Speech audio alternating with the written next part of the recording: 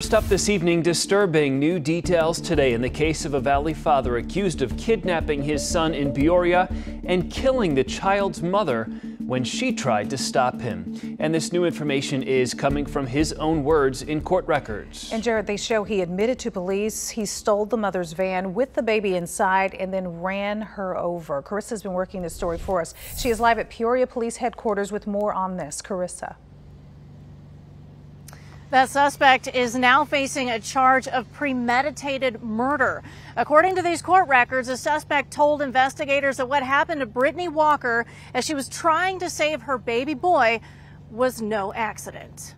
We're very happy that we have Eric in custody, and that's what we want our public to know is they're now safe. Peoria police discussing the arrest of Eric Mays, the man who sparked an Amber Alert when he stole his ex's minivan and took off with their son. Court documents detail 911 calls that came in Wednesday describing Brittany Walker's struggle to save 10-month-old Abel. One caller heard a woman yell stop and help. Another caller reported seeing the van spin out and hit an electrical box. A third caller said they found a woman wrapped around a fire hydrant. After Mays was tracked down and arrested in North Phoenix a day later, documents say he told investigators he and Brittany were fighting in the van when she jumped out. Records say Eric turned the van around and hit Brittany on purpose.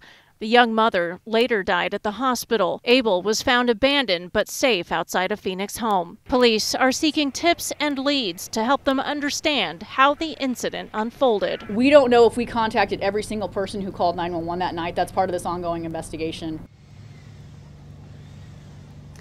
Today, Brittany's family is suffering another loss. They tell me DCS has decided to place Abel with the suspect's sister.